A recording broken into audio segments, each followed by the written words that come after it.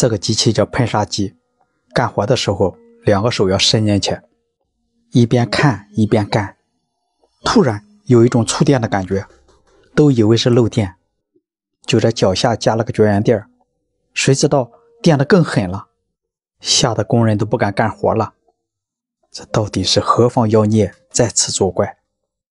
好了，开始破案。通过和工人师傅详细交流，才知道只有在喷砂的时候才出现触电的感觉。对于这种喷砂机，我很早以前就接触过，也修过，所以不陌生。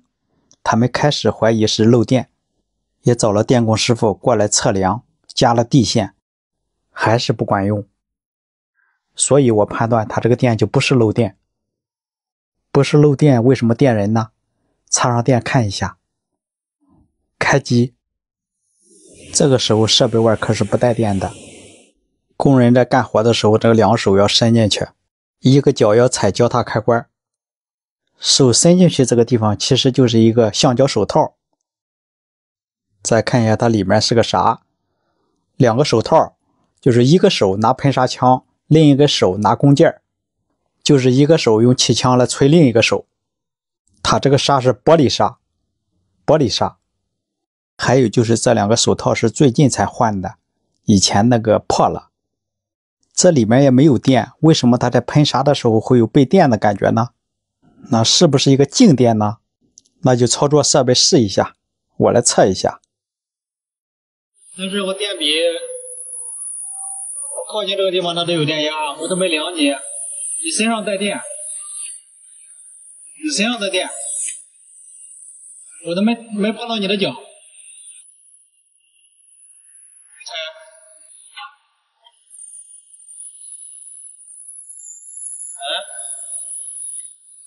身上有电，为啥这个电笔突然不显示了呢？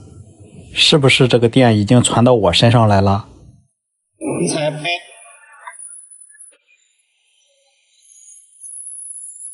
没了？没烧了吗？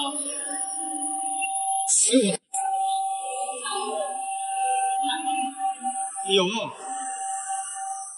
在刚刚电笔碰设备的瞬间。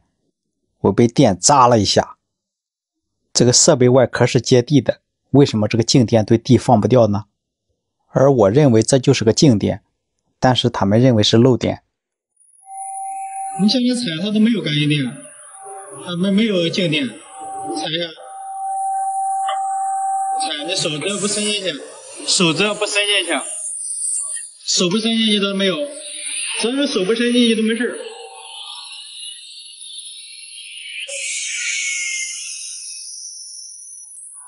那既然是身上的静电，为什么它对地放不掉呢？为什么都放了绝缘胶皮，它还会被电呢？静电，那是这两个手套产生的静电吗？摩擦起电，它为什么对设备放不掉呢？那如果把接地线压到手套这一块，能不能好一些呢？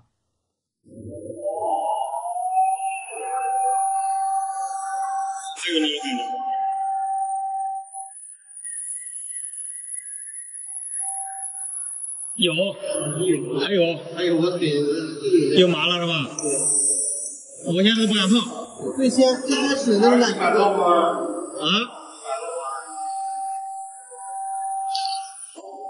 最开始的感觉就是你腿上的那个汗毛它是立起来的，就是就是腿上的汗毛就是往外扎扎。对。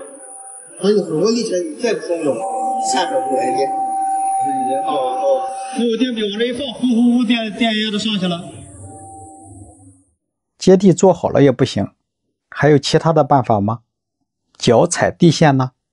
直接对地放电？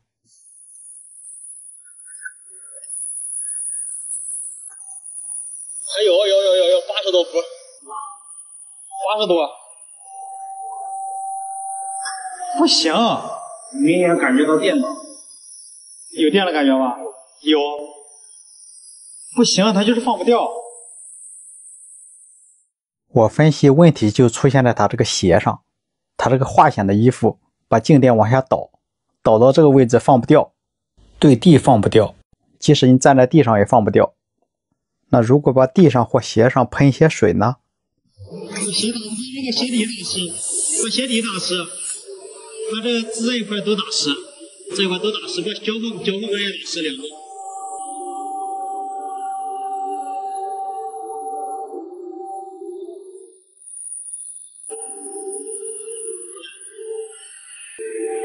这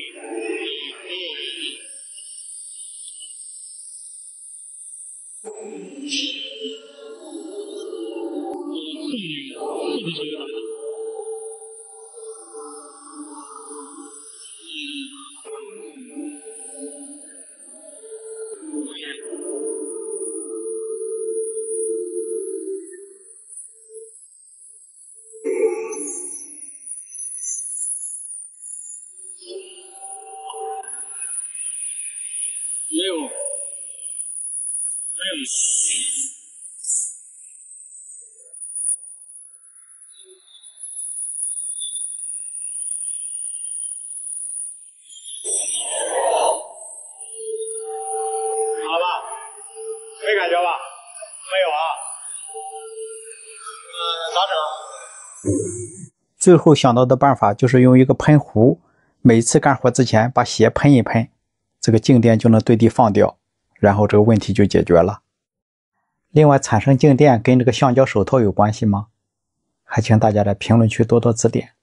好了，感谢您的观看。有的时候摸这个墙，这个墙也会有电。这个喷头我现在换成这种塑料这喷头了哈，它也会，然后有电，就滋滋滋滋会会那个电。也有三个人过来了，但是都没有修好。对，我发现人就洗澡的时候，这墙面有水的时候，啊，就是摸墙也会有这个电在，就是不是很强烈的，但是你摸着会震一下手，有有有有，是有电是吧？一靠近它就响，对，就是墙也会有电。一靠近它就响，嗯，呃，响的更更猛。是墙有电是吧？还有电。有，嗯，很明显。水龙头倒是没有，就是墙墙带电。墙的电是吧？就是我们会，反正是动不动就被电一下，动不动就被电一下。这个地方还没有。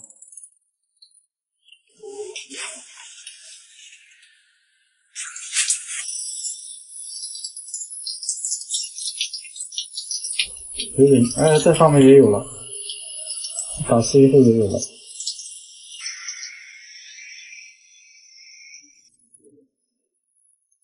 有，它更高了，墙打湿以后又更高了，哎往往下越来越高，往下越来越高，这个地方就高，原来这上面有有有电路吗？像这种情况，普通的电笔测不出来。你看，灯都不亮，不亮灯一般都认为是没有电。啊，确实是不亮。那个，你们家能断电吗？就一路一路断电。这个怎么了？在哪？也不是，在哪？哎，没了，哎，没了，这个没了灯也没了，啊！灯也灯电路吗？这是？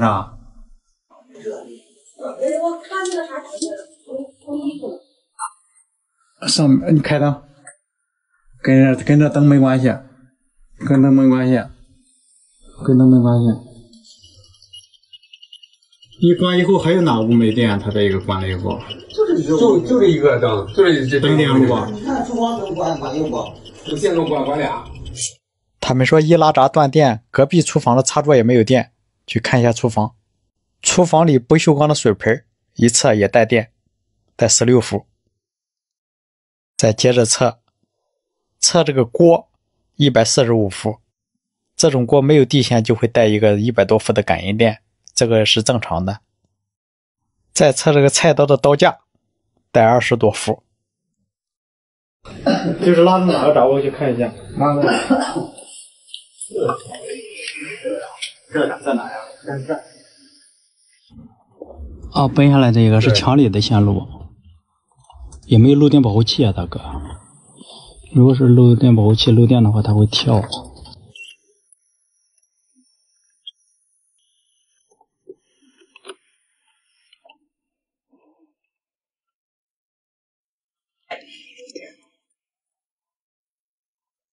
哎呀，漏电漏老厉害了，我还以为是感应电，是漏电了，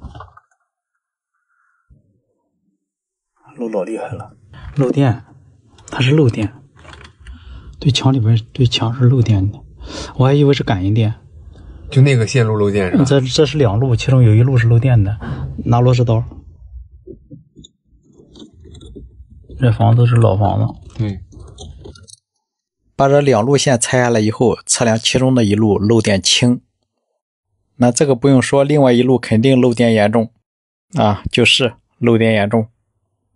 我呀妈，不漏这一路，我给你接上，我看一下是哪个，送上电哈。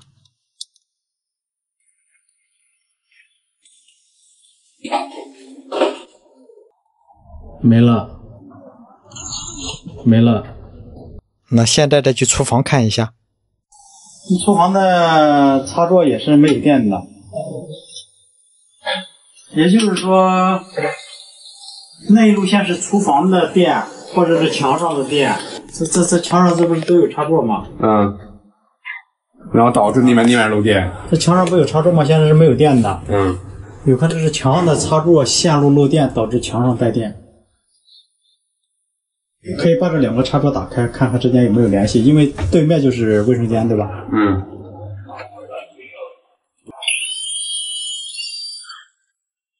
墙的对面，哎，完了，这线都没穿管吗？连管都没穿呀！加快进程，拆下这个插座，分开这两路线，可以测出这一路线是漏电的。就是往这走的线是漏电的，这路线没穿管，走在墙里边，一直走到这个插座，那就是线在墙里边漏电了。那就再打开这个插座，再看一下这个插座，拆开这个插座以后，测量分线路，这一路是零线不漏电，火线漏电。看火线漏电，而这一路也是火线漏电严重，零线漏电轻。这一路火线对墙体漏电。我我只能说，这一路线给你不要了，因为对面是厕所，这一块是漏电的，导致导致这个线是干啥的？有用没用？这这个电，这个线，这个插座到这个插座之间的线嗯，都断开了以后，我再去那个店长那块给你判断一下这个主线有没有问题，嗯行吧？我给你整明白的。现在现在好，现在好，现在好，从那个主线。